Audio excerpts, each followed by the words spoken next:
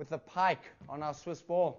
So once you're rolling over the ball, hands are on there, legs are straight, toes on the ball, stick the bum up into the air. Have a look. There, down it goes. Toes into the chest, toes in and down. You ready? Let's go. One. That's two.